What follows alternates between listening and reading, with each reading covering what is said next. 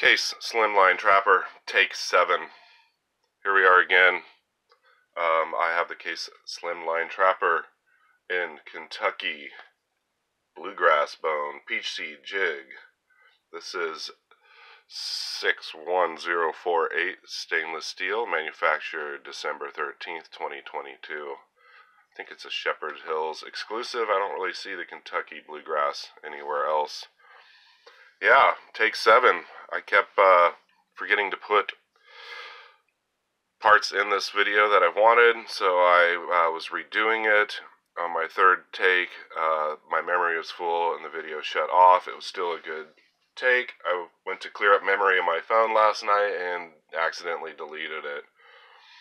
Um, I just did another take this morning, and uh, I guess I'm still tired because I got really poor English and um, my measurements were completely wrong.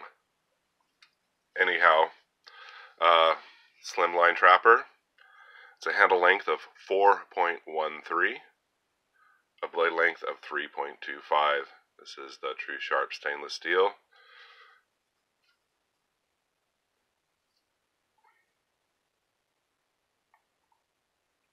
Pretty slim. Nice green bone. Uh, they had this on special, forty six ninety nine. Um, the one I wanted was Doom Crew's White Bone Red Shield carbon blade. I cannot find those anywhere. There's no uh, flea markets that sell knives up here in the Northwest that I'm aware of, where I can go around and check out what's out there. They do have uh, Sparks. It's a white synthetic red shield stainless steel. Let's go over 50. I figure I'd spend less and get a bone covered version. The shield is, I feel a little bit proud on this side. Pins are nice and smooth, of course, except, eh, that's actually pretty smooth. Smooth into the bolsters. Action's really nice. It's probably about a six and a half pull. I do notice small hairline gap at the top there. Doesn't really affect the use of it that much. This is actually the most gap I've seen on any case that I have kept.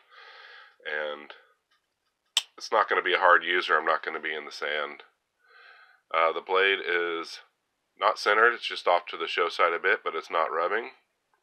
And being on the show side, when you go to grab it, it's going to push it centered.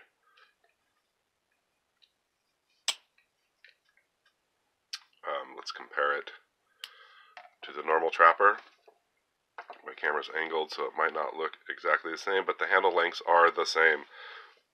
Blade lengths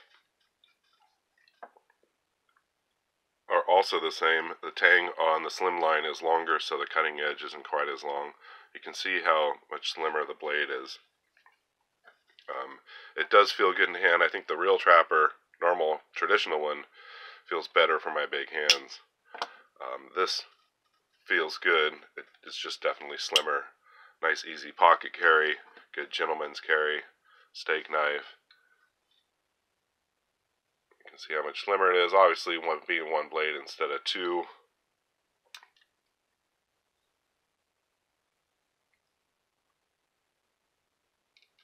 Very nice addition to my collection.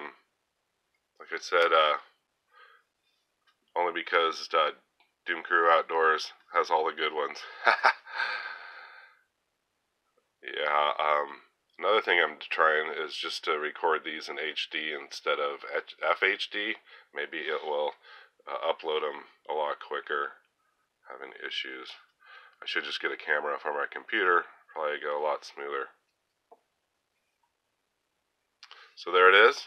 My first slimline trapper added to the collection. Kentucky Bluegrass Bone. Thank you for watching.